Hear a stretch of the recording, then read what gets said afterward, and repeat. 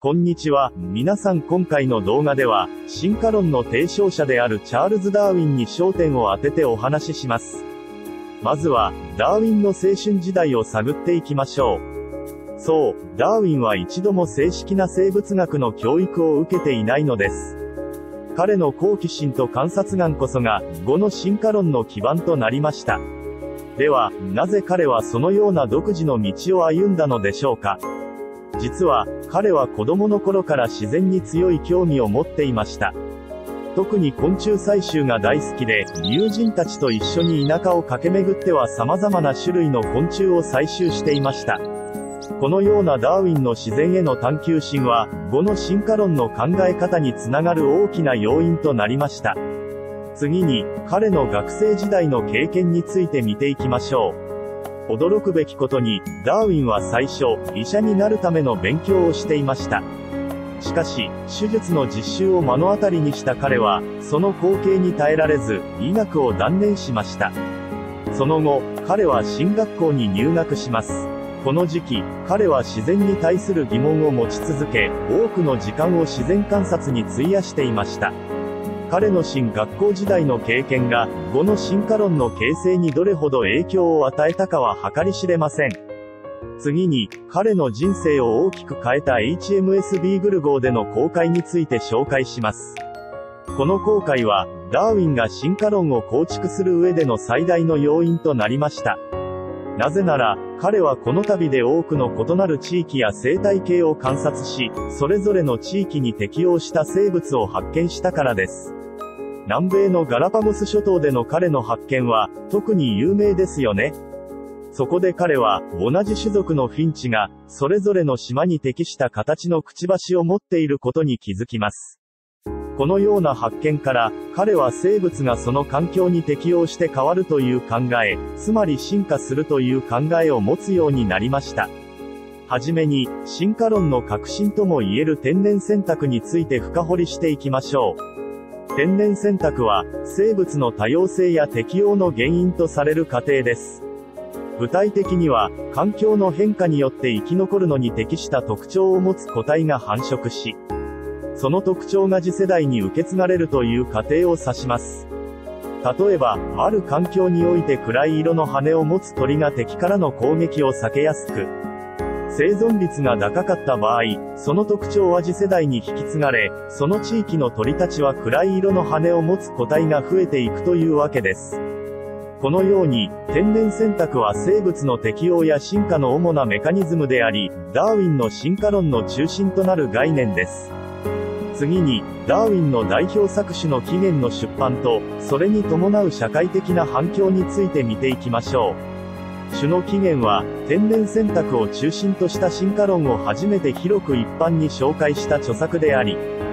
当時の学会や一般社会に大きな波紋を投げかけました。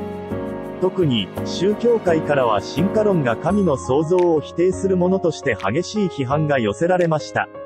しかし、多くの科学者や研究者はダーウィンの説を支持し、その後の生物学の研究に大きな影響を与えました。次に、進化論を支持する主要な証拠について掘り下げていきましょう。進化論の最大の証拠の一つは化石です。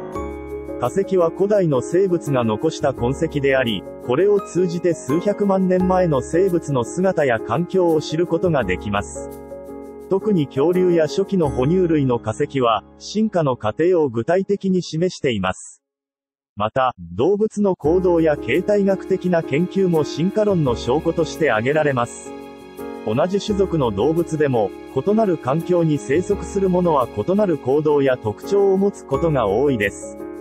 このような証拠をもとに、進化論は現代の生物学の基盤となっています。ダーウィンが残した遺産について触れてみましょう。彼の理論は、現代の進化生物学の礎となっています。この分野は、ダーウィンの時代から飛躍的に進化し、多岐にわたる研究が行われています。それでは、何がその動機となっているのでしょうか？ダーウィンの種の起源が示した天然選択という理論は、今日でも生物の進化を理解する鍵となっています。しかし、現代の技術や知識を活用して、より深く、より詳しく研究が進められています。例えば、分子生物学の進展により、DNA の研究を通じて進化のメカニズムを詳細に追うことが可能になりました。また、計算生物学を使用して、進化のシミュレーションやモデリングが行われています。ダーウィンの理論が現代の科学技術と結びつき、進化生物学はますます進化しているのです。進化論には、その提唱以来、様々な批判が寄せられてきました。多くの宗教団体や一部の学者から、進化論は神の存在や創造を否定するものとして批判されてきました。特に人間は猿から進化したという説は、多くの議論を呼び起こしました。しかし、進化論を支持する多くの科学者は、これらの批判に対して様々な反論を行っています。化石の証拠や遺伝学的なデータは、生物の進化を示す強力な証拠として挙げられます。また、進化論と宗教の教えは必ずしも矛盾しないという立場もあります。進化論は科学的な理論であり、その真偽を決めるのは実験や観察に基づくデータなのです。最後に、進化論が私たちの日常生活や現代社会にどのような影響を与えているか考えてみましょう。進化論は、人間や他の生物の起源を考える上での基本的なフレームワークを提供しています。私たちが食物、医療、環境などの様々な問題に向き合うとき、進化の視点からの洞察が非常に有効です。例として、抗生物質の乱用が、細菌の抵抗性の進化を促進することが知られています。このように、進化論は医学や農業など、実際の問題解決にも役立てられています。進化論は、私たちの起源や存在の意味を問い直すとともに、